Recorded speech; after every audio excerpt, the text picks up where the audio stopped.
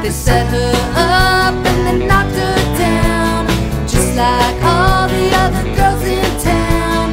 Still, all she does is chase the scene. She's almost